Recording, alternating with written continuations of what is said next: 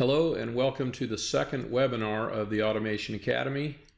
This was a Zoom webinar held on December 4th, 2020, and we discussed machine simulation using a PLC and HMI, and then got into a general discussion on systems integration with some questions and answers. There were five attendees in addition to myself, mostly members here at the Automation Academy. Hope you enjoy it. Good morning and welcome to the second webinar at the Automation Academy. The subject today will be machine simulation. And at this point, I have no idea if anybody's going to show up. But in any case, the meeting starts at 10 o'clock my time. It is currently about 9.58. So we'll wait a little bit, see if somebody shows up and then get going. Sebin, let me make sure I've got my audio on. Are you there? I am there. How are you, Frank? Hey, pretty good. How are you? I'm doing good, man. Doing good. So, can you see my screen? I, yep, I can definitely see your screen. Absolutely. It says in feed screen right now. Yeah, cool. So uh, yeah, so I, I scheduled this and didn't really know what I was going to talk about last week, and I didn't have a lot of input. So I kind of uh, decided to do it on a previous uh, simulation that I did, which looked like this. Gotcha. And this is actually uh, recorded in the Automation Academy. It's in a RS Logix 500 video, um, that Odyssey series. So the general idea was uh, I simulated everything. Of course, don't have a real um, uh, mock-up of this, you know, little plastic conveyors or anything. So everything is fed back from the PLC, and the general idea was you'd place a part here, and it would move down the conveyor. Uh, when it reaches this point, it would push and get inspected with the camera and if it passed, it would continue on down the conveyor. And if it failed, it would get pushed into a reject bin. So pretty simple application. And then I added this gate. And in the case of, uh, let me show you something I've got here. Uh, let's see, can you, can you see my little camera here? Yes, I can. Yeah. Okay. So these are the, uh, the trainers that I build the, this thing that's right right back here. Yep. And notice it's got an e-stop on it. Uh, and, and it actually has a little MCR inside of it. Hmm. So it's a bit of a step up uh, above some of the, you know, little suitcase trainers that you normally use. Um, so the reason I do that is be, and there's also a stack light on it. Um, I don't know if you can see that, but there's a little, and it's hard to, really hard to see. Um, but there's a little uh, light stack light right down here. Gotcha. Yep, see it. Mm-hmm. So it's your typical red, yellow, green stack light. And I build these these little trainers myself, but I also teach uh, for a company called Automation Training, and they use these little suitcases like down here. So gotcha. inside of those, the only thing there is is uh, you know push buttons and pilot lights, and uh, that's pretty much it. A little potentiometer. So I built these trainers so that I could teach, uh, kind of as you and I discussed over the uh, email, a little more of a real machine control type of class. In other words, you know, what happens when you hit the e-stop? Um, you know, you lose air, you lose power to your outputs. So I try to kind of incorporate that into the class. And that's what this was about. So in addition to the e-stop, I also have this little gate. And so, hey, we got another one. Look at that. We got three of us now. Cool. Nice. Cool. Hey, Phil, how you doing?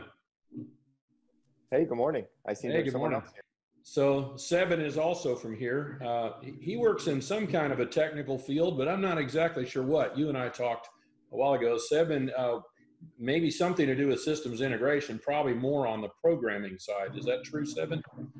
Yeah, so I, I did that in a my past job, but right now I currently do a little bit of uh, distribution and programming work on the side. So uh, I work for a distributor, but more in the programming division versus the sales side of things.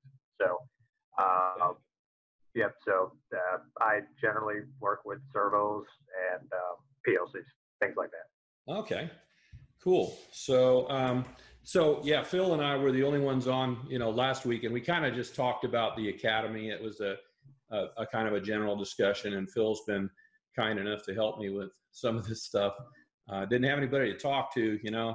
Before I did several webinars this summer. I think I did four of them, and in the grand total, I had three attendees in four webinars. So, and, and they only attended for part of them. So this is the first time I've had two people on, which is cool. But uh, in any case, so what what this was, this is a full recording uh, in the Automation Academy. It was done with a uh, the trainer, as I pointed out, had a little e-stop to it. Um, and uh, it, I used the the little trainers behind me, and they have uh, you know some push buttons and pilot lights and things, um, but they don't have an HMI. So I do make trainers with HMIs also, which makes it easier, right? Because you could push a button and turn the conveyor on. You could jog it. Um, you could stop it. Things like that. So what I decided to do is um, when I created this Logix, uh, ControlLogix Odyssey video, I decided kind of take it a step further, right? Um, but I, I'm reusing the same uh, layout, right, that I that I did in the RS Logix 500 video.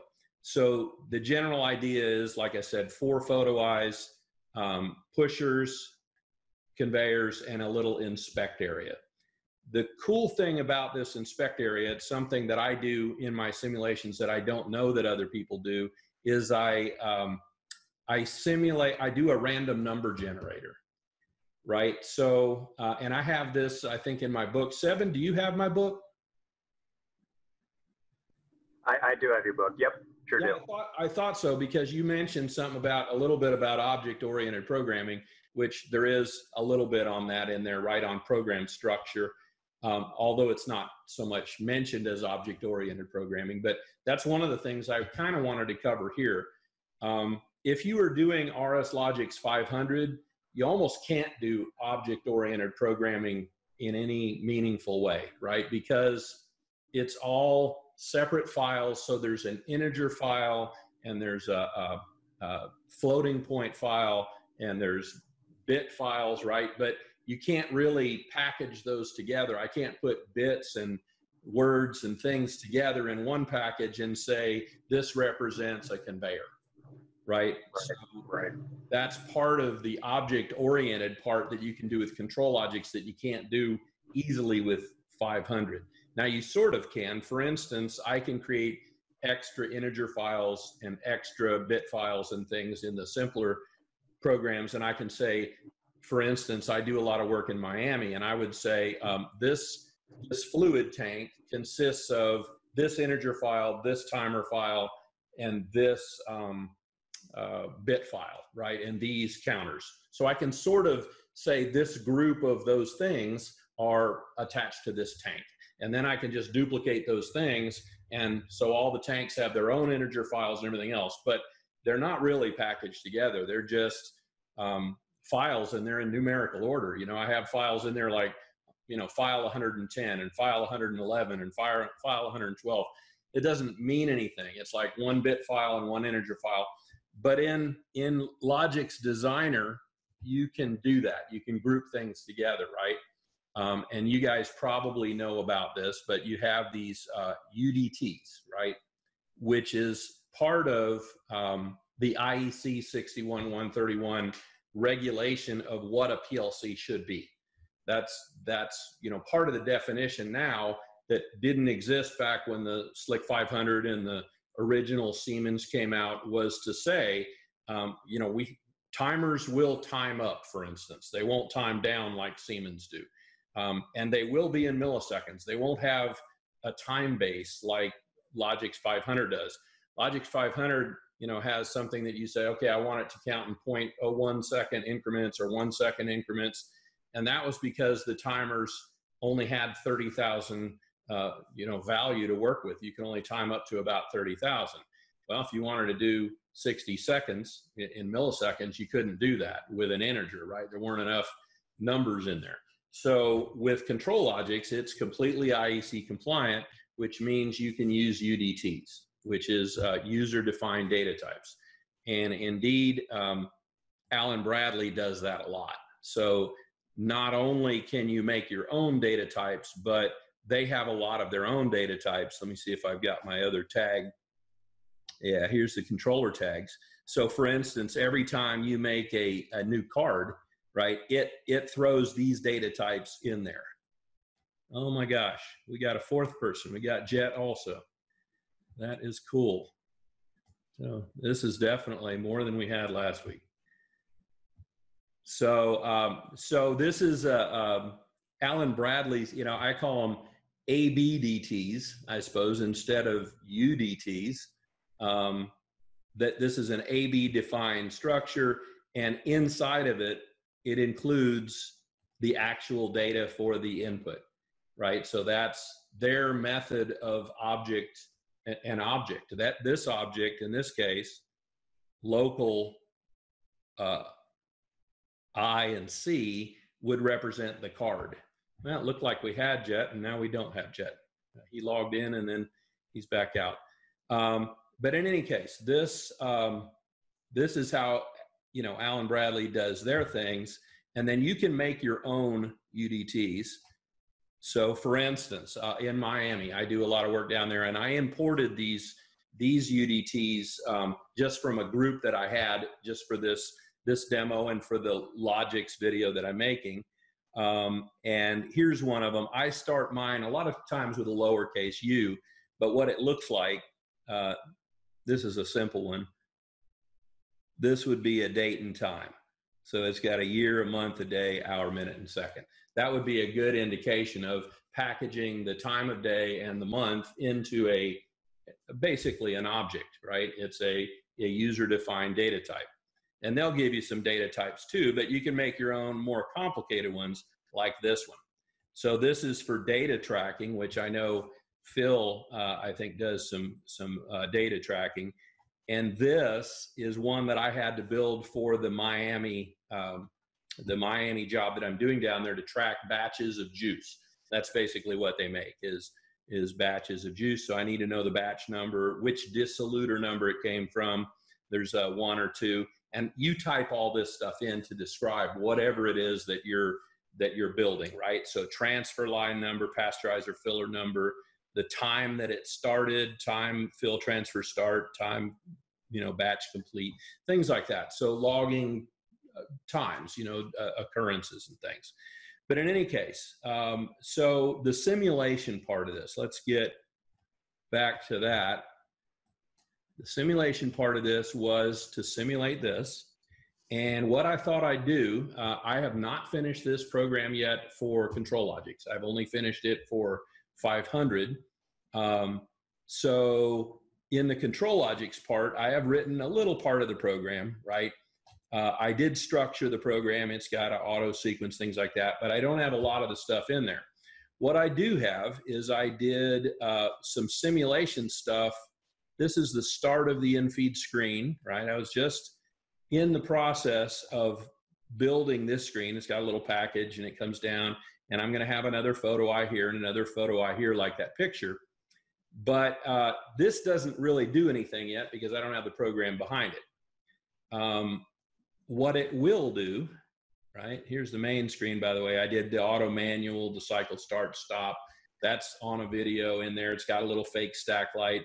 I couldn't do this easily with the RS Logix 500 because I didn't have a touchscreen, but I did have the demo that's behind me. So this one, um, you know, we'll have push buttons and things, but what I did do is I set up a cool little simulation test yesterday to illustrate some of the things that you can simulate. So for instance, when I get to this screen and I want to move this package down this, this uh, conveyor, right? So how do I do that? Well, you can animate these objects and you can do a variety of things with them. You can change their color. You can um, make them move along a path. Um, you can change their size. You can make them visible or invisible. Right? So those kind of things are things that you would animate. So for example, um, this is actually two objects. And when I want to push this thing off, I will move this here, right? It'll follow a path and it'll look like this pusher cylinder extended and this box went here. Okay, so I'll have a reject bin and then this thing will need to come back, right? So it'll be here. So that's the general idea behind animating all these things.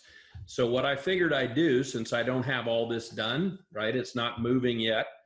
Uh, the, the logic for doing that is actually in the RS Logix 500 video. So if you want to see how the logic would work to move the cylinder out, how to run this conveyor and move the object along it, you can see that there. But uh, let's get back to this screen, which is the simulation screen. Uh, I don't know how much you guys do with touch screens. This is an Allen Bradley uh, PanelView Plus, which the fun thing about this is I can run this on my desktop just like as if I had the real HMI.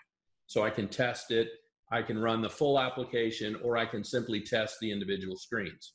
So what I'm doing up here is if I test the display, it's active and it actually interfaces with the PLC. So here's one that I'm using an internal tag, right? So if I move this slider, I define the, the movement of the slider and then this ball follows the slider. It also follows this slider. Okay, so I can move the ball anywhere in that white area by doing that. I can also pin this to the PLC, and here's how I did that. This, this red ball uh, right now is actually following, I believe, the PLC. The way we can test that is if I shut this off, right, it moves back. And that says that uh, when it, it was defined here. That's, this is like the zero, zero point. So I defined it here, and then the PLC tells it, move over here. This, these sliders tell this to move here, right? These are entirely internal. So I have an internal tag here called like ball position vertical and ball position horizontal. Um, that's actually, I'll show you that. If I go to this, animation, horizontal position, I have a, a internal tag called horiz pos, right? Horizontal position and I have another internal tag called vertical position. This one, if I go to the animation, it is pinned into the PLC, which is a like a topic. Now there's Jet again. So it's like a topic sort of. And uh, so I'm picking the topic PLC, I'm picking the uh, item within that main program, and then this is the tag within that. So uh, symbol horizontal is over here in the PLC. And I actually built a little operator interface here. So this is just running an emulator. It's not a real uh, PLC at all. And I ran a simulation program. I just made a routine called sim. And this is something I like to do sometimes. Um, again, that is really hard to do in um, RS Logix 500. But in ControlLogix, you have a no-op, which is a it's a coil that does it does nothing, right? It's a no operation coil. Uh, I can't do that uh, in in Logix 500. I have to have a coil of some kind there, whereas here I can have a coil that does nothing what this does is allows me to basically have a, um, a an operator interface. So if I toggle this bit, now, uh, let's see, close that. And you can see this ball moving automatically. All it's doing is following um, a timer value, right? And so what I did is I defined when the timer's at zero, it's here. When it's at 100, it's here. And it follows a, a one second path. So the logic behind that looks like this. right? So this is one of the easiest possible pieces of logic. If you guys don't know this, this is one you would want to memorize. It's a free running timer. So it's just a timer in series with its own done bit normally closed, right? Which makes it repeat. So I have a one second timer here. I have a two second timer here. And I, I allow the vertical and horizontal movement, right? I actually have to scale it uh, since it goes up to 2000 and I didn't want to uh, define a 2000 position, I divide it by 10, right? So it goes zero to a thousand and I get a zero to a hundred. So that position zero through position 100. Divide this one by 20 and I get position uh, zero through 100 here also. If I activate both of these, go up to the operator interface. Oh, here's another trick. So you see me scrolling up and down here. And again, this is particular to Allen Bradley, but um, this is a neat thing you can do. I don't know if you knew that if you use Logix, but uh, this is a split screen. And now my operator interface is at the top and I can scroll up and down underneath it, right? But I can get back to the operator interface here. So I'm going to make both of them active. Okay, so now if I go to my simulation, and it's kind of moving moving funny. So you, you see you can move an object basically however you want to. I could make this object follow a certain path on the screen by pinning it to different timers and moving numbers into the registers however I would need to. So that's the general idea behind it. Um, and then if I deactivate either one of those timers, then it will only move vertically or only move horizontally. So I guess you get the idea behind all that. The specifics to it, um, like I said, this will all be eventually in a video, just kind of a general uh, ControlLogix simulation video from starting a project until finishing. And I think I have three modules or gosh, maybe more now uh, already in here on this. Um, other things you can do for simulation. Um, this one's kind of fun. Uh, this is Mayor McCheese. I'm going to turn these off because they're annoying when they're moving across the screen all the time. So I go back to my simulation and the balls have stopped moving. And here's Mayor McCheese. So the Mayor McCheese was just what I wanted to do here. This is just testing my own uh, theories here. I moved an object in here for, um, right, for that was a label. So let's move it up so you can see it. Come on now, there we go. So this was, this just happened to be in the objects library. And I wanted to see, can I resize it? And the answer is no. Even though I can resize it on the screen, right? I can drag him bigger. The animation will not allow me to resize it. Okay, so what did I do? I had to create my own Mayor McCheese. That Mayor McCheese is composed of a bunch of objects, right? They're all separate objects. And amazingly, it will allow me to resize it. So this is one of the things that if you're animating, you got to know, okay, I can't, I can't use some of their library objects. I can't, for instance, make the conveyor longer. That would be kind of cool if I had a, a conveyor and I could extend it or something. I, I can't do that. I can move it, but it has to stay the size that it is. So I didn't know that. So the best way to experiment with that, and I'll kind of show you what I did. If I uh, test this, the first thing I did is I made either one Mayor McCheese uh, visible or the other one visible. So if I go in here and change to the other guy, then the other one's visible. And uh, what this does is it scales to this number. So if I want to make him really big, this is again uh, 0 to 100. He's bigger.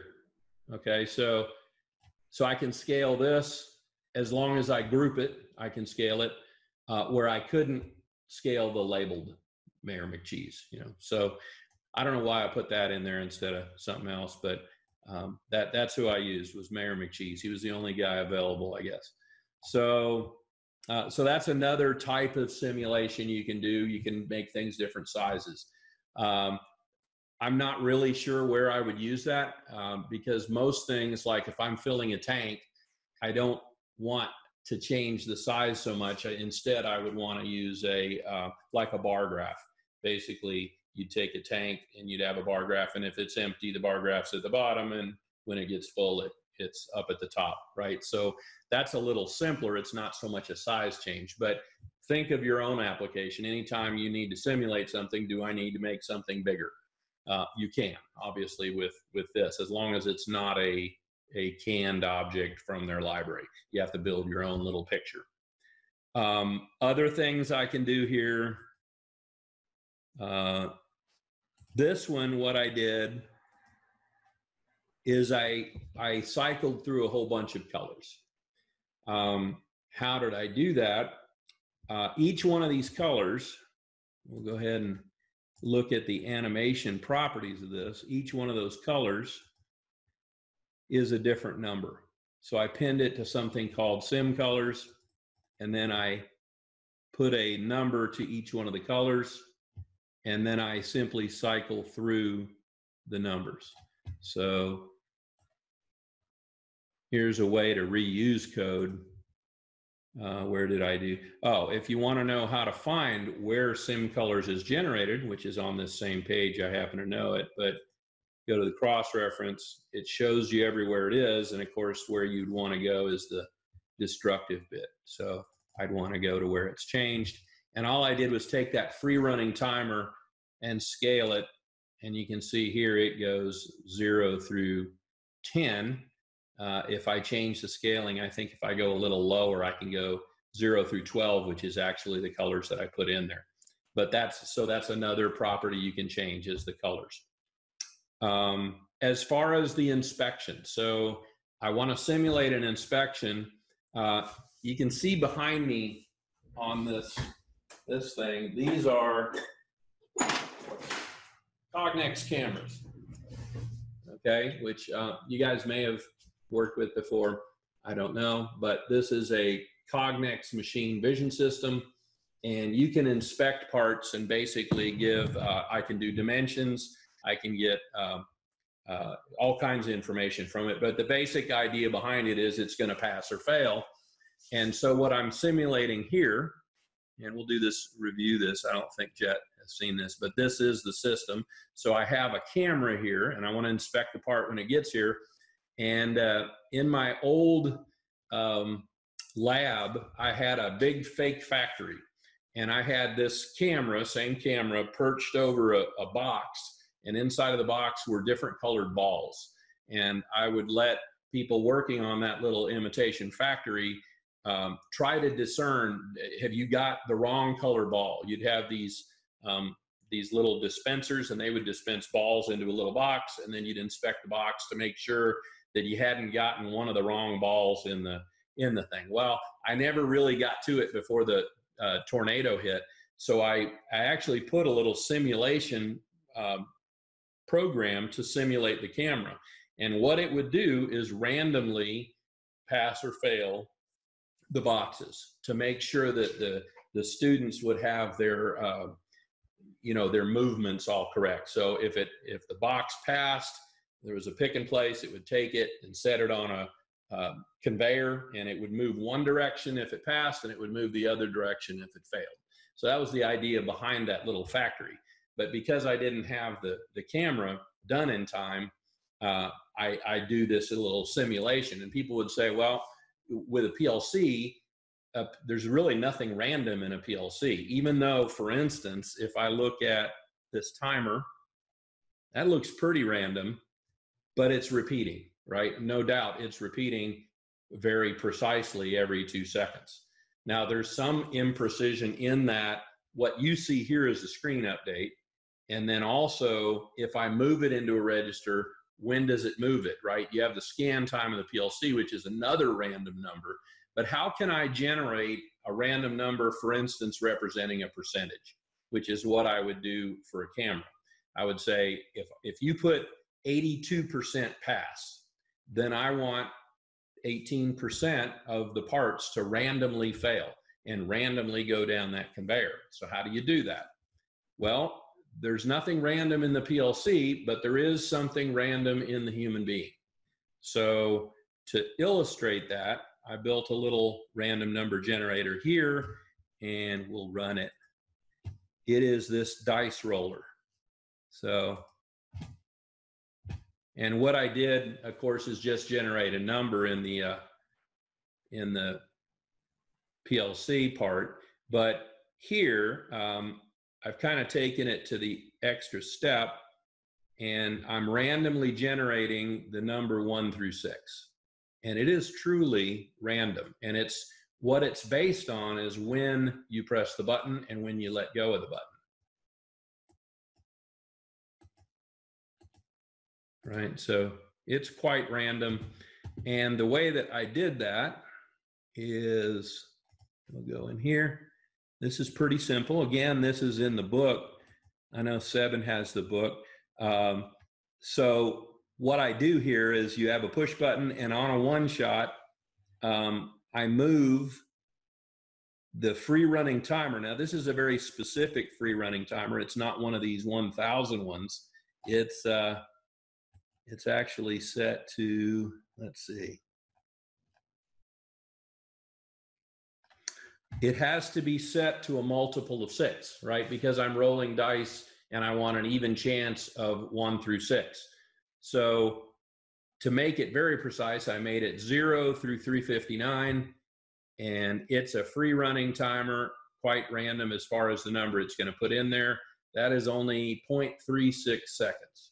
So your chance of timing that perfectly is very low. Uh, so what I do is I take a one shot and whatever that value is, I divide it by 60 I add one to it. There is one case in which the uh, it's greater than six. If I hit exactly 360, uh, then it actually generates a seven. Sometimes it will round up. So to make sure of that, if it's uh, rounds to a seven, it will uh, move a six in it anyway. So that's what this logic does. Pretty straightforward. Um, you would have to kind of run this yourself, but you could see how, for instance, you could generate a random number from zero to 100 or one, one to 100, zero through 99, whatever you'd want to do to generate a percentage. So that's the general idea there. And what I do, it, the random part of that is if you, uh, whenever you set the part on this conveyor, it's going to move through here. It's going to randomly push in here and I would run it on a say 100 milliseconds instead of 0.36 seconds. Maybe I'd run it, uh, just get a, a, chance of zero to 100 and uh, divide it out. And whenever the part lands here, that's when it generates the number. Uh, I could, in addition, if I wanted to, I would trigger the camera, give it a half a second, and say that simulates how long it took for the camera to generate its result and get to me. If it passes, it keeps going down the conveyor, and if it fails, it goes over here. So that's what I'm going to be simulating here. Um, and again, all this is in the um, one of the courses. It's in that RS 500 uh, Odyssey course, which I appended to the end of the RS 500 uh, course also. So that's been about a half hour of of the meeting for you know kind of how, what I'm doing on simulation you guys have any any questions or comments on this, or do you have anything else you want to talk about?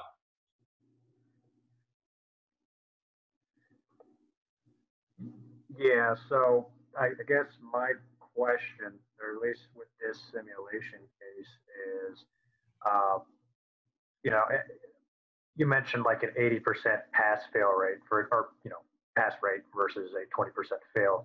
So how, how would you simulate the randomness of the box based on a 20% fail rate, if that makes any sense. So, like, um, if 20% of the cases fail, how do you know that the box is?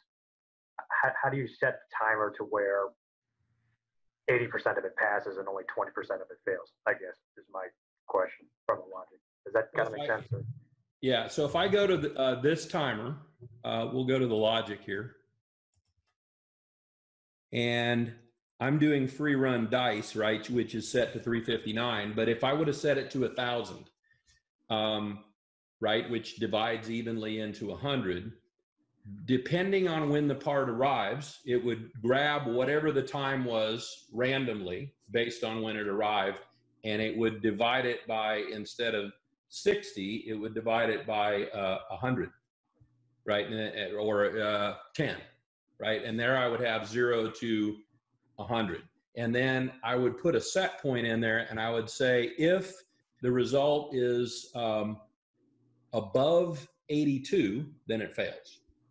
So that would be the 18% failure. If above 82, then reject. Then generate a fail signal. So it's not just reject, but generate the actual simulated fail signal from the camera. Gotcha. And then yeah. ideally, I so you, we talked a little bit about object oriented programming. I would want to build that into the equivalent of an AOI, right? That represents a camera. So, for instance, this thing you see on the screen here is an object that represents, I think, a pair of dice. Yeah, die one and die two right? So inside of that box is everything it takes to roll those dice. It, there's the timer, um, there's a trigger on the input side, and then there's die one result and die two result. I would build a box that would say simulated Cognex camera. And inside of that, uh, you know, as a set point, uh, since it's simulated, I'll put a set point for uh, percent fail. And then I will have an output that generates a pass or fail, a physical pass or fail, and then that output would trigger the reject pusher. So I want everything inside of that box, ideally, representing that camera. Okay, and then in my real program, I would have basically all the same, I'd want to make sure that the simulated camera had the same I.O. as the real camera. So a good example would be uh, product select a lot of times um, I'll have a camera like this. It's got little pins on the back and they're digital pins. And I say, I want product number four. This thing is programmed to recognize that product number four is a, um, I don't know, a, you know, a telephone like this. And oddly enough, in Cognex, they have this thing called a PatMax it I don't like PatMax personally. What it does is it's a pattern matching thing. So I would look at this phone and you know it it would pass or fail it based on the memorized vision of a phone, but it wouldn't tell me, for instance, hey, there's a there's a four on the middle key instead of a five. Now that's the thing I don't like about PatMax, right? So ideally, what I'd like to do is create a separate sensor for everything in here and it would tell me you're missing the middle the middle key is the wrong number you know or um, you're missing this button or many things right? This camera has the capability of doing that but it takes more work. I've got to draw sensors around every single one of these buttons and i've got to recognize the, the number that's in it which is an optical character recognition thing so all that exists in the Cognex cameras. They're all capable of doing that. But people are generally pretty lazy, and what they do is they they use PatMax, and PatMax does exactly what this number generator thing does. It says um, you have to have a 97% for that phone to be okay. And so phones go through there, right? You're inspecting phones and they're mostly passing, and every once in a while one fails, and you don't know why it. You just know that it was below 97%. You could inspect it again or look at it with your eyes or whatever, but that's the thing I don't like about PatMax. So I tend to put all the separate sensors on here. Um, I'm going to do a class on machine vision too, but it, it these courses take so long to record, um, which is why I tend to just be. I, I do the lazy thing, which is record myself writing a program and then just talking over it, right? I can do that in, I, would say I'm doing one hour of um, finished video takes me a day, I would say. Whereas if I had to do a Cognex video and explain what every single little section does and how it works, oh, it's it's an hour per minute. I would say a finished video. There's a lot of editing and I have to really write a serious script. I can't just get up and start talking so those courses are way harder. Um, they take, you know, maybe a couple months for a Cognex course, and I'm not uh, sure that I have all that time. Oh my gosh, there's Carlos. So we've got five people. That's like a, a new record here. but in any case, so so that's that's the idea behind this, right? Is to use the camera. Now, interestingly, uh, Carlos, that's what he does. He has something to do with vision, and his company inspects um, uh, parts or, or, does some kind of validation with parts. So, um, so I, I, don't know in great detail, but Carlos is actually one of my connections on LinkedIn. So he must have seen this thing here and done that. But does that answer your question, Seven? Kind of to the yeah, yep. Yep, sure, sure does. And it it sounds like you like to keep a lot of your um, you like to keep all the control on the PLC and let the Cognex do what the Cognex does. For example, just grabbing pixel counts off certain dimensions. You do the uh, logic in the PLC. Right, and and so we talked a little bit about integration. That's the integration part. Is um, how much of this needs to be in the PLC and how much of it needs to be in the camera. Some people, for instance, uh, there are computer-based vision systems. Um, they're generally they can be cheaper.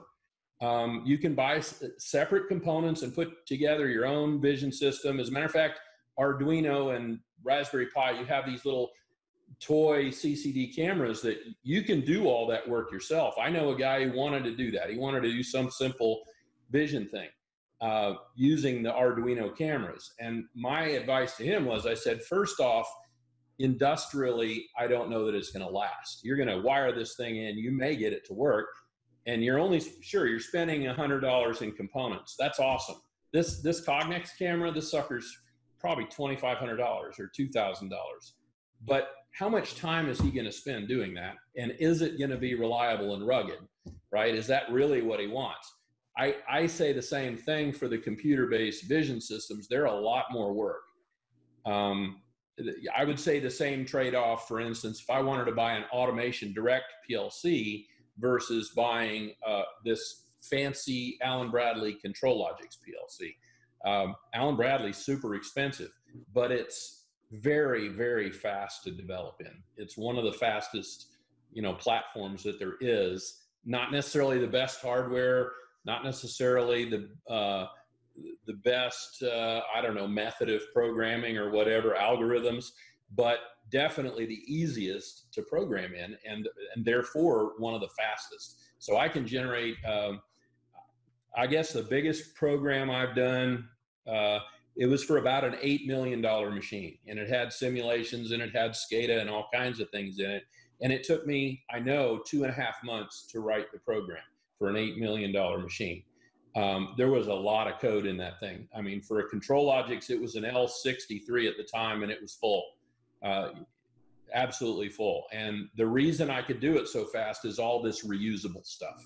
That's that's really the key to Allen Bradley is you can build add-ons, you can build um, this program here. Uh, a great example, I had these testers. They were uh, air filter testers for 3M, and they passed a little bit of oil through the thing and there was a lot of mechanical movement and then it would detect on the other side how much of that oil made it through the respirator filter. So all your um, the respirators that you use now the big pink ones. Um, you know if you were to buy the serious ones um, they've all had just a little bit of oil sent through them and that's how they detect uh, whether they work and every single filter is tested that way. So you know that hey you know nothing's wrong with the manufacturing um, that thing had eight testers in it. And the way I did that is I wrote one perfect tester program. I, I say it was perfect. It was not perfect as it turned out. But the idea would be all the tags, right, in here were specific to tester one. And so I finished tester one. And you can see here, this is a simple simulation. For those who haven't been here on the simulation, this is what I simulated in here very simple. Um, and, and this is entirely simulated, right? Uh, that tester had a lot more than this whole thing in it. So just for this, you can see all the tags that I've had to create in here. For a tester, there were five times as many tags just for one tester. So I, I wrote the program as perfectly as I could, and then I copied it eight times. And you can't do that with something like an Automation Direct PLC. Uh, there is no method of separate, you know, making eight duplicates of the same thing. So that's kind of where we get to the object-oriented programming part of this, right? Um, a tester, from my perspective, was an object, and this program is another object, and that object better represent that tester. Now, as it turned out, it was not perfect, and I did have to make changes, and I, you know, something would change mechanically on the machine. Oh, well, and now I got to go change it for eight separate things. So I want to say it took me more time to change things in the eight testers than it did to write the first tester. you know, that's that's part of why you want to use rapid code development. But yet the hardware costs more, the software costs more. This software, you know, starts at I don't know, twenty five hundred bucks compared to Automation Direct. Their best software is less than a thousand um, and it's pretty good. Um, but yet, if I had to write a you know eight million dollar machines program on it, I probably couldn't, or it would take me a year. Whereas here, it took me two and a half months from start to power up. So that's that's one of the differences. Same kind of thing for these Cognex cameras. Uh, all the brains are in the camera.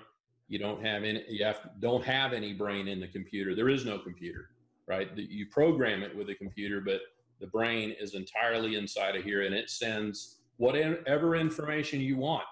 Um, the camera actually in this program would look exactly like uh, the tags in the controller tags up here.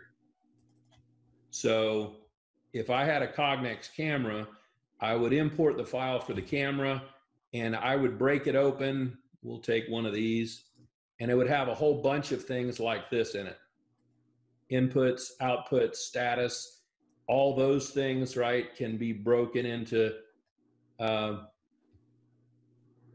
right, sometimes can be broken into smaller things. That's just channel four uh, status and all kinds of different things. The camera would have the same thing.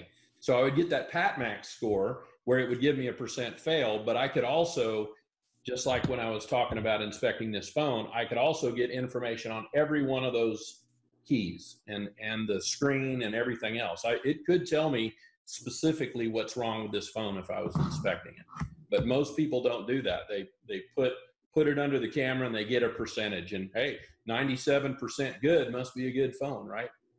Well, I don't think you can do that with everything. Some things you really need to know specifically, you know, I don't know, diabetes medicine or something that you know a car part that life or death depends on i suppose.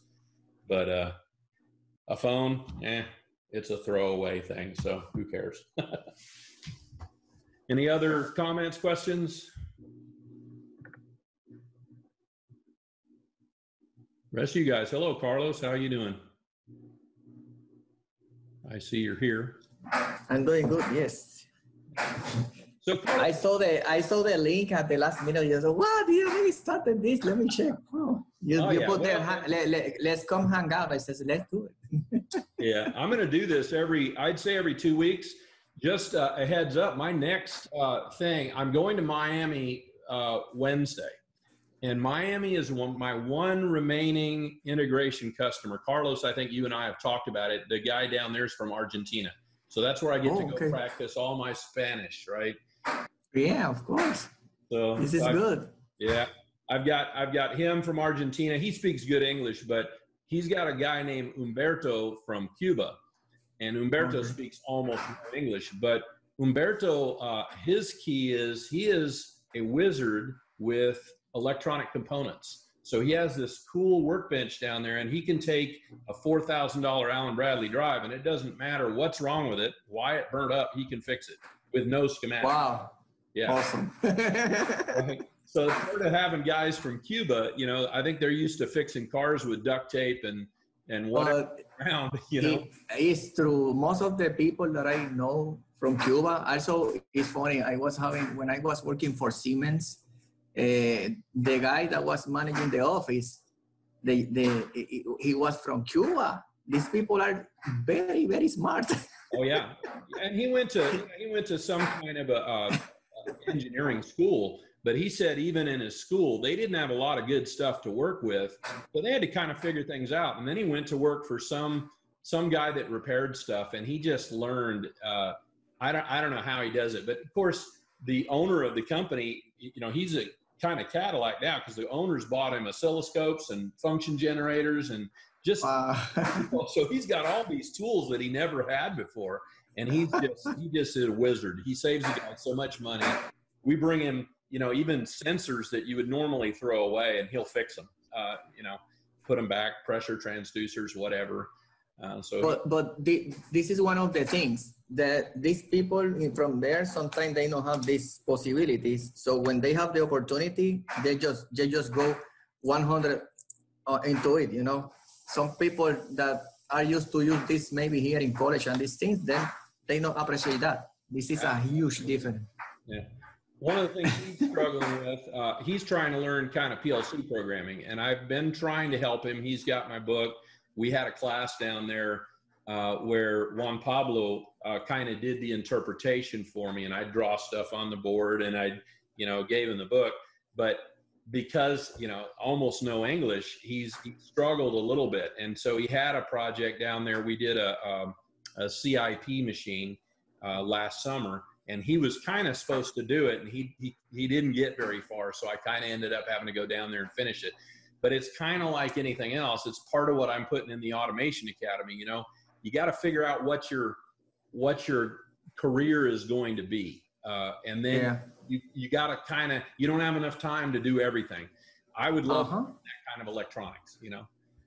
You know i'd Same love happened to, to me. Yeah i'd love to learn arduino and raspberry pi. I bought all the stuff. I would love to be able to build little components and do integration of objects like this. Build a little thing that i can you know talk to and make work.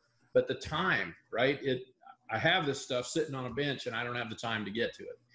Same, same, same exactly problem that I have. Same, man. So it, the problem before was like, uh, okay, before there is not too much information. If you want something specific like that, you have to go for trainings with the manufacturer or something like that. These days, you have all the information in there, but you don't have the time. That's exactly right. So, yeah. So Sebin and I have, have talked a little bit back and forth um, about integration and he he uh, he has a question that i'm going to try to answer on my blog about uh, opc ua which is okay. some of you guys know what some of that uh, is uh, opc used to be what they called only for process control and uh-huh. was it important well from my perspective the only thing that was important about it was i could take information from a plc and stick it into an excel spreadsheet without uh, you know using like an RSLinx driver or much of anything, right? I could just use the built-in capabilities uh, of Excel.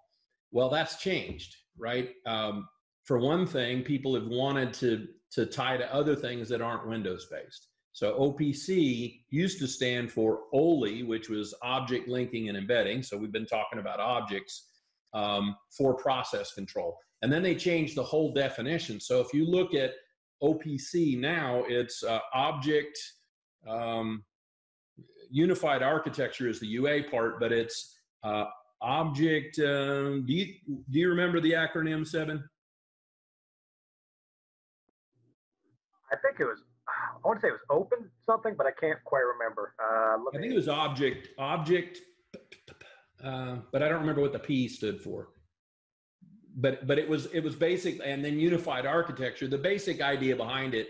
And again i don't know great detail but seven asked me this the other day so i kind of did a little research on it. And what it is is um, I, I see drivers for opc and opc ua in various things. If they're windows things you could use either. But in if i had something like a cognex camera right this is definitely not windows so for me to communicate with something I've never talked to before, OPC UA opened it up and I can talk to Linux and I can talk to Android phones. And so it made a lot of tools available. But what I understand about it is it also it has to package all the information about communicating with all those different things in it, even if you're not using it. right? So uh, I don't want to talk to an Android, but the capability is in this OPC UA package. So do I care necessarily how to use it? Um, not necessarily, right? I, I know it's there and I know what the difference between it and OPC is, but that I, I can't count on one hand the, the times that I've ever had to use even OPC or OPC UA. Um, I tend to use packaged things. Uh, I know people ha- have made all kind of cool little widgets on board level stuff with microprocessors and whatever, but most customers won't allow you to use that. that's the reality. You, you know, they want something that's tried and true and is not an experiment. So uh, it's very rare that I have to talk to something that doesn't have the protocols built in. I would say the exception would be there are weigh scales that haven't entered the industrial age yet, and the customer buys a weigh scale, and I've got to talk to it, right? And I may have to take uh, literally text, right, and build strings and bring the text in and use comma delimited stuff and and figure it out that way. So in that case, is that OPC? No, it's not. It's still not OPC. It's it's just text strings over RS-232. So um, the protocols that I end up running into all the time, lots of Ethernet protocols, right? Um, so for Allen Bradley, it's um, Ethernet IP. For Siemens, it's Profinet. For uh, for Beckhoff, it's EtherCAT, right? So they all have their different protocols and I don't have an Allen Bradley PLC that can speak EtherCAT. So I have to figure out a way to get from Ethernet IP to EtherCAT. But they build a little box that converts, you know, Ethernet IP to EtherCAT. Or they build another little box that is literally a server and I can feed Ethernet IP, map it to some tags internally, and pass the tags out uh, via EtherCAT. So it's kind of a which one do you want to pick? If I've got to talk to this thing and they're two different languages, how do I get from one language to the other? I guess that's that's kind of and, and I'm going to write a whole thing up. I, I haven't figured out a way to put this in the Automation Academy yet for details like what you know. Seven and I have had a couple emails back and forth, and he asked some really good questions. And I would really, I'm I'm leaning towards turning the Automation Academy much more into a a higher level um, um, systems integrator school, if you want to call it that. Sure, there's PLC courses on here. That's a lot of what I do. I still teach a lot of PLC and HMI stuff, but there's a lot more to it, right? So, for instance, I get maintenance guys, they don't want to learn how to program a PLC, they really want to learn how to troubleshoot. So, uh, Phil mentioned something about a uh, th- there's a, a three phase uh, system simulator uh, that you, you know IEEE is advertising or whatever.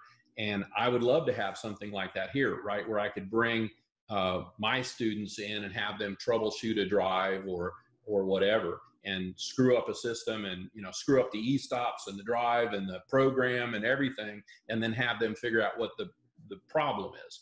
But I don't know how you do that entirely online that you know or teach people how to do that right um, so you almost have to have these physical things and i have the same issue with how do i create a, a systems integration course that discusses all of these different topics like uh, opc ua or how do you find faults in systems or how do you write um, interfaces between things because everything is different right so I can pick, you know, like I said, machine vision and talk about how to talk to that because I've done it before.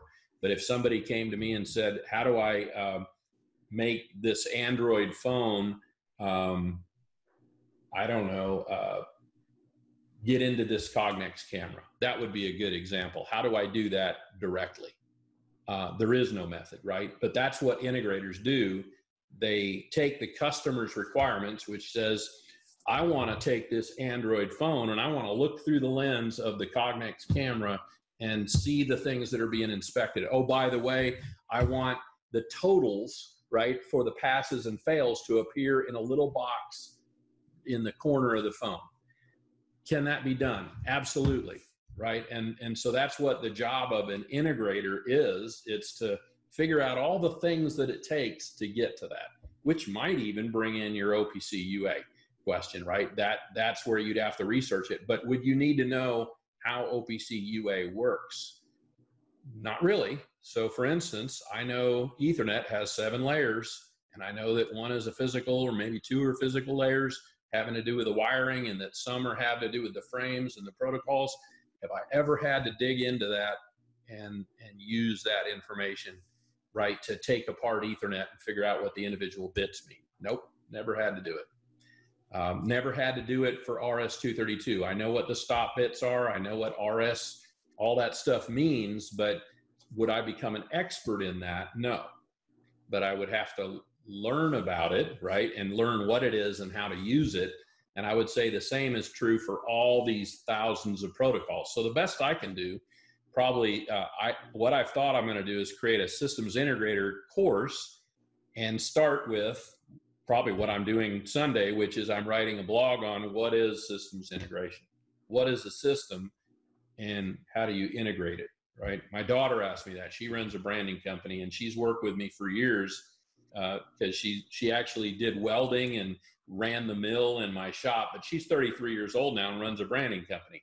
She's still asking me, uh, Dad, I know what kind of what a PLC is and I know what PLC programming, but you're writing.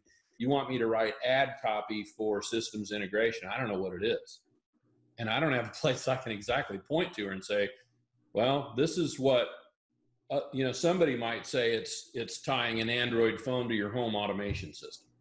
That systems integration.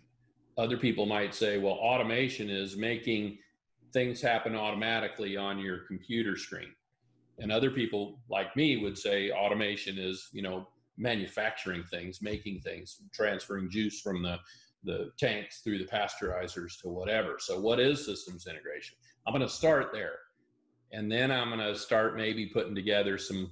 You know, I, I wrote a blog a long time ago on on acronyms and buzzwords. You know, what do all these things mean? What does and I still can't remember what does OPC UA mean. I, I remember OLE and I remember the old OPC and I remember TCP/IP and HTML and all these acronyms, but there's thousands of them, and you know they all mean different things to to different people. So. Sure. OPC is open platform communication. Yeah, open platform communication. Okay. Yeah. yeah. Uh, I, well, there's another definition I found that was something uh, object, object something. Uh, I'd have to find it, but I typed. It, it's funny because you, yeah, you get different things, and you don't know that you're necessarily getting them from the right source. Let's right. see if any of the other ones come up. And Frank, just to clarify on my question in that email about OPC, I guess the way I was coming at it from the question standpoint was, you know, there's always a design consideration when choosing certain protocols over others. For hmm. example, uh, Modbus. Using Modbus for a high-speed application is suicide, essentially, right? right? So, yeah. Um, and so maybe something like EtherCAT could be used for that. So I guess from an OPC UA versus MQTT versus Ethernet IP, use cases and when to use certain protocols and why to use them would be would be kind of the angle I was going for from the OPC standpoint. Hey, why is OPC UA used? What what specific characteristics of OPC UA makes it a good protocol to use it in this design case or something along those lines? Is that uh, that that was kind of the frame in which I was thinking. Okay. Okay. Well, and and in, like I said, in my case, um, every plant, if you work with bigger plants, they are generally going to be specced on a brand, on a on a kind of a. Um, the exception is this Miami plant. Like I said, they've got Siemens, Allen Bradley, GE. I, I want to say Automation Direct and some obscure stuff. And some things aren't PLCs at all, right? There's chart recorders and there's whatever. So um, if I'm doing Allen Bradley, it's kind of a no-brainer. I'm going to use Ethernet IP because that's what they've got. Um, they don't have anything faster. They don't have anything better, and because of that, uh, you know, the plant themselves would choose Allen Bradley drives. They would choose Cognex cameras uh, simply because they're Ethernet IP, right? Even though Ethernet IP is not as fast as EtherCAT, so I would never change to EtherCAT even though I could probably get there from Allen Bradley. Um, Siemens would sit there in a, in a trade show and just go on all day about how Profinet was so much faster than and, and more accurate and everything else for motion control than um, than Ethernet IP. That's true, uh, and EtherCAT is even faster than that. But if you're all Allen Bradley and your servos move fast enough, right, which they do, uh, I, I, was doing stuff with the old uh, Sercos and had no problem at all. And Sercos wasn't, from what I can tell, as fast as the Ethernet IP stuff was. So I would pick, you know, for those big companies, I would probably be forced to pick a brand. I, I really wouldn't have a choice. You know, I, I wouldn't be able to go in and say, you know, I really like uh, Mitsubishi drives. So I'm going to use Mitsubishi drives with my Allen Bradley controller. Um, you know, the, the customer would tell me that. So I, I've just rarely run into a situation where I can choose any of that. The, the obscure parts would be, like I said, some of those way scale things or in the back in the day, zebra printers. Uh, a lot of people use, still today use zebra printers. And if you've got a stick, um, a, a formatted label in there, the only way to do that right now is to use a computer a Windows computer because that's the only software they have, and you literally draw your label on the computer and that's what it prints. But if you've got stuff that is needing to populate it and change sizes and you got to do it in a PLC, the option would be send the signal to the computer, let the computer do the printing, or format everything with a PLC, bypass the computer completely, and duplicate all the functionality of the software that was already in there that's what I ended up having to do. They didn't want to have the computer, and at the time, uh, I want to say it was in the 90s, so we didn't really even have much in the way of Ethernet. It was kind of all serial stuff. And I, that was one of the reasons I didn't want to send something to the computer, let the computer send it to printer. It wasn't fast enough. So I had to do it straight out of the out of the PLC. But it's just rare that I've had to choose um, a protocol other than um, I did a building management job, had to convert uh, Ethernet IP to BACnet. And uh, there were two ways to do it. There was a directly something that would just convert the Ethernet IP language into the BACnet language, but uh, it the formatting when it would arrive on the other side was all mixed up, and you would have had to take apart all the bits and and format them in the PLC. It wasn't economical, so I bought something called a field server, and I just researched it online. It was made by ProSoft, which are the same guys that make a lot of these protocol converters and things, or special purpose cards in Allen Bradley or Siemens. So uh, in that case, I had to research that, but but it's so rare anymore uh, that I've had to do that. Everything nowadays, um, you know, people partner up SMC and Festo both have stuff around Bradley and uh, and Siemens, right? Um, Siemens tends to lean more toward the Festo stuff, I guess, it's, it's German, but um, that's where my choices come from a lot of times. But yeah. Gotcha. Wow. Well, uh, I feel your pain. Zebra printer uh, logic from a PLC doesn't sound fun at all. So. yeah, it wasn't. It wasn't. Yeah.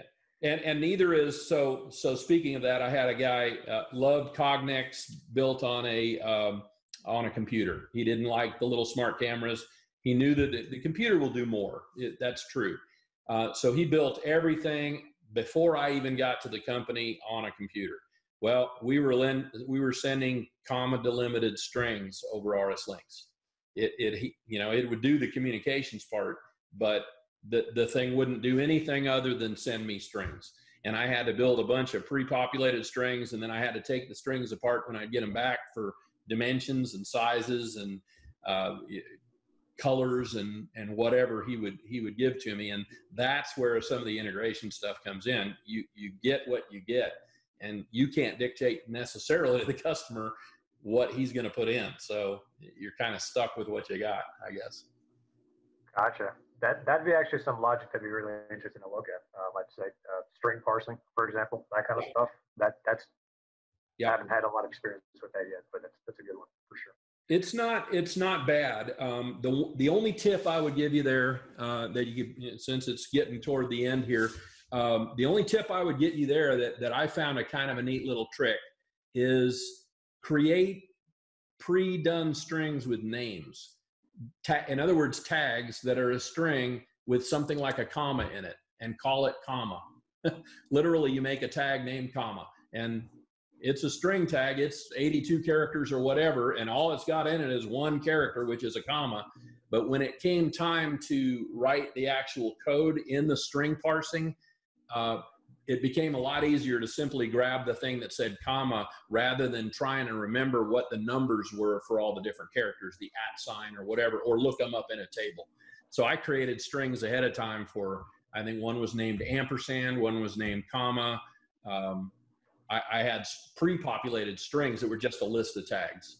And again, the object-oriented part of that is, could I put it in a UDT today? Yeah, I would. And, and I would call them, I don't know, uh, com com tags or something like that, right? ASCII tags. I guess that would be a way to do it. But I am, that's my next step is I really am going to create some courses on kind of systems integration. Just start with what is systems integration and then start bringing some case studies of how to how to basically design systems and and uh, and make things talk to each other and you know start with the IO list and the um, you know what we learned in college. I think most of the guys in this list are engineers or you've been to some kind of engineering college that you know they for engineering it's here's the information you're given here's what you have to find if you can divide those two things up and throw out all the extra stuff that has nothing to do with what you're working on right oh, by the way, the walls are blue, right? Who cares? you know? Um, so, so I guess that's, I'm leaning toward doing that more than when I started the Automation Academy. I really thought my target audience was poor guys from India and, and, uh, and Africa that couldn't afford my book. And, and, or any of my books or my or training courses that cost $150 online you know so I thought, well, if I do a membership group and I get a whole bunch of them in there, they can all take the courses cheap. That doesn't turn out that that's probably what the audience is going to be, as evidenced by uh, you guys. You know, I think Phil's working on his PhD, and Seven, you seem like a guy who knows a lot about um, protocols and different things. I know Jet's brought up some things that he's he's working on from a technical standpoint. Uh, uh, Carlos, do you run your company, or are you uh, uh, you're an officer in your company, kind of, aren't you? Well, three years running my business now. I'm very happy uh, for this decision. okay. Yeah. 16 years working for others, uh, for the uh, for other people dream. uh, so in the pharma industry mostly, and now I'm doing the same thing, but but by my own and developing my own team and these kind of things, and learning I never stop learning. So this industry uh, 3.0 that is automation yep. is what is out there. But now the people are starting moving and and developing uh, industry 4.0 that is connecting all this automation and this data uh, to to cloud systems and and uh, artificial intelligence, machine learning, and all these processes. So it's awesome what is happening that that now it's just not it's not just uh, using the PLC and this stuff to control the machine. Now this data have a lot of value uh, to to move it uh, up to the SCADA system, MES, ERP system, cloud systems, artificial intelligence, and machine learning. This is what is doing industry 4.0 and industrial internet of things, digital transformation. So a lot of things to learn there. I'm, I'm on, on this way. Yeah, and the, the bad thing about that is you end up focusing on one brand of something or one. You know, uh, you've seen Derek Stickle. I think you've been on some of his posts. On ah, yeah, yeah, yeah. yeah.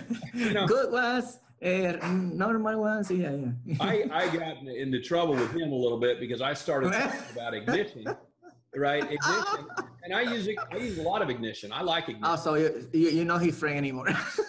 Well, no, it's just he, no. He say he say ignition is not good. yeah, yeah, that's what he said. You know, and it's like, well, I'll tell you what, you know, it does everything we need it to do, and it was cheaper. And then he started. You know, I was I was on board with him until he started talking about how great Wonderware was. And I was like, whoa, wait a minute. Now, I teach Wonderware. I know Wonderware and I know ignition, and I would choose ignition every day. every day. Wow. It's a the price and it does twice as much. I mean, I can. I, do, I, yeah. So I don't know. I learned. I learned. I I start learning this one. So uh, the induction software. Yeah. I try to learning about this software and yeah, the capability. The, the thing that you have HMI, SCADA, and MES system in one platform is like a what? Yeah. and like you say, there is a lot of information uh, out there. Uh, so so the capabilities are awesome. So they are running MQTT protocols now for most of the things. The easy thing, the easy way to connect many stuff. The the Ignition Edge now for the small devices. The yep. they, they they give you a license for for two hours limit with all the capabilities, so you can learn whatever you want about that. And then there, this is, university is great because you can learn all kind of stuff there, yeah, for free. Exactly. So this is not happening with the other guys. so right. you want you want this training for one piece. If I say, well, if I if I if I would uh, uh, add or something, if I would uh, try to understand the value of the training that they're offering, is thousands of dollars in there. Absolutely yeah. in training if you would pay that in other brands. yeah, that's right. Well, and I, many many thousands. I, I told the rest of the guys I'm headed to Miami this week, and that's for the next two weeks. That's a lot of what I'm going to be doing in that plant. It's ignition related and working with all the different PLCs there. And my next live event is going to be from there. So two weeks from wow. Miami, and I'm going to do it from ABD, which is my only real systems integration customer anymore uh, I, I just know the owner really well, and he has no problem with me, uh, you know, streaming from his plant and pointing my camera around and showing some other stuff. So that's what I'll be awesome. doing. Yeah, it should be fun. Yeah. You, if you need someone uh, carrying your tools, uh, I don't know. you know? One of the things about it is uh, we have these big face shields. We have a mask on under that, right? And it's okay. Yeah. And it, I have it. There's no air conditioning, right? But I think Miami right now, this is the time to go down there. December, it's not bad. So. Exactly. Yeah, yeah. Wow, but this is awesome. Yeah. If you're going there. So man, and, and about that, it's like a, with, with like you say, with the Raspberry Pi and these kind of things, man, you can do a lot of things there. Also, the one that you was mentioning with the phone, you can use in your phone the, the web browser and you can access MQTT with right. Mosquitto server running and maybe use Node-RED and everything, and you will have in your phone whatever you have in your computer. You can do your home automation with your with that if you want. You can, you can, but every time you open up that can of worms, you end up in a giant security issue. Oh yeah. And if you're going to rely on this is this is for yeah security software. This is for a, yeah. for education thing. Yeah. so that's that's part of it. Um, that it you know there yeah lots of cans of worms in there when you start. Uh, integrating things and all of a sudden when it's when i'm responsible all of a sudden i'm very picky about what i choose and and what i bring into a plant. Now as it is i work oh, yeah. on the miami plant from here a lot. I i go right into their server and use a um, you know vm and, yeah vpn vpn, yeah, VPN into the vm there and uh, and i work on the machines online. But the fact is if you have a connection like that somebody else can get in there too if they want to. Course of course, yeah, yeah. I have a customer from Italy that I'm working right now the same way, remotely, every time that they have a problem. And yeah, it's like you say, it's like, a, but at this point, they have no option. It's, it's just th- that this or, or not running production. That's right. but for the for the other thing with the Raspberry Pi, I, yeah, I'm just doing like internal networks, not not connected to the to the Wi-Fi or anything like that. So Yep. to the external thing for the same reason that you mentioned, but yep. to well, learn, this is the way. consider, consider coming in uh, here to the academy and, and providing some of that stuff. Uh, I would love to have a group that kind of dealt with some of those microprocessor level things. Uh, Jet, I know, is maybe thinking about doing some of that too. I haven't had time to do it. I've got the stuff. I've actually got books on it and all kind of exercises and you know it'd be fun to sit down and learn it. But man um, you know i'm already involved in so many things it's kind of just a choice of, of what to work on. But a lot of times if i have a goal in mind um, i know jet's going to be working on a um, some kind of a simulation program. He's bought a little 800 plc and he's going to put together something and he wants a, a project to work on. And i think the arduino stuff that's that's good and low cost and board level, and you can make it do just about anything. So, um, great way to tinker and create something that um, you, you know is a I don't know recordable. no man, honestly, this is this is awesome. So it's with the, uh, when you start looking for Raspberry Pi stuff, one there is one very very smart guy. He, he, this blow my mind. He just used the, the Raspberry Pi, the last one that is with 8 gigabytes of RAM. He installed VMware in, internally and run three, three virtual machines at the same time with this thing. Wow. yeah, I don't know how you'd fit that. You know, they, they don't have a lot of memory on those things. You know. Yeah, yeah. Well, it, it's not like you will run a plant with that, but the possibility to install VMware and have three virtual machines uh, running uh, with not, not with high power. The power of, of and resources is the only limitation of that. But the, the possibility to have it is like a, I don't know, it's, it's crazy. They are using also with the cameras OpenCV, that is the protocol for Python for, for, for camera stuff.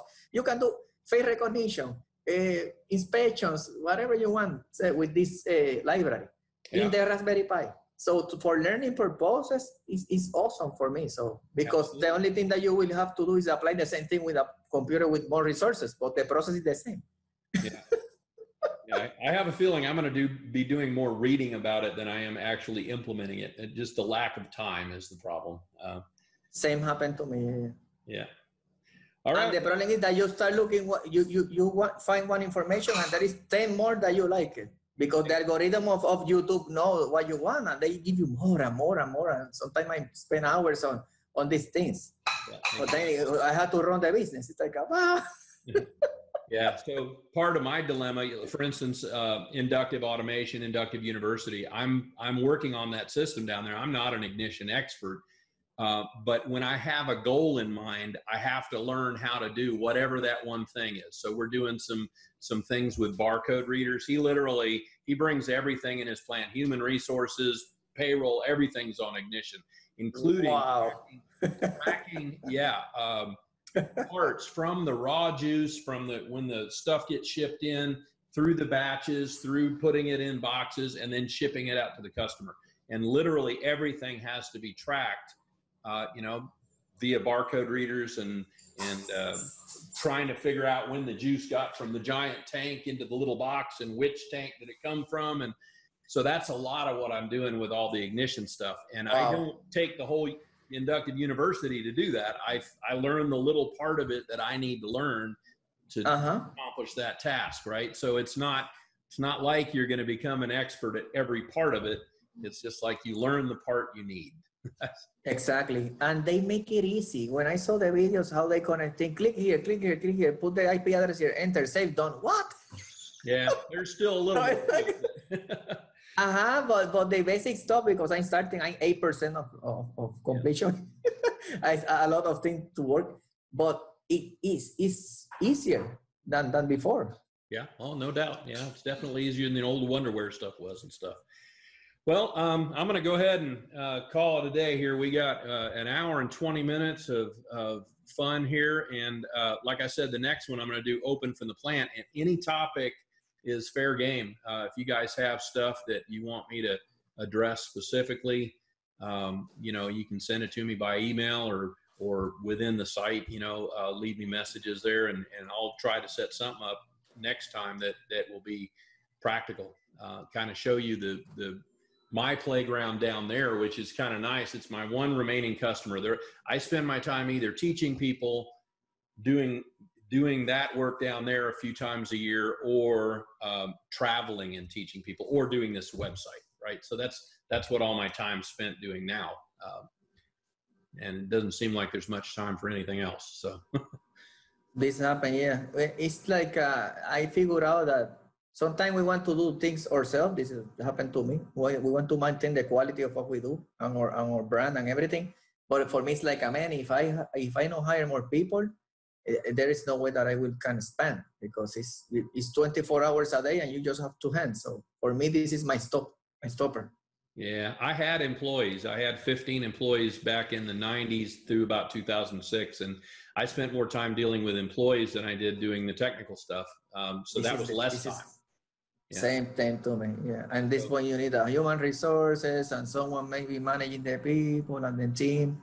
That's right. Yeah. But then, then we, we, we, it is, I, I love the integration part and the technical part. So it's, but in business, you have to choose or you manage the business or you work uh, with the stuff that you like it. So do the both things at the same time is a really challenge. Yeah, so I, I chose not to do the the machine building part of it, and, and much of the integration. it's more fun to teach. It's eight hours okay. a day. Uh, I get into these integration things, but and they're they're more like 12 hour days, six to seven days a week. When I'm down there, I'm generally working, but um, but I enjoy it, and it's only two weeks at a time. It's not all year. So this is what this is what I'm doing right now. Doing what I enjoy and love to do. You know, I, I want to feel that I'm not working, and this is this is the way. Exactly. So do what you like, and, and and you will be happy. You will not feel that you're working. This is what happened to me now.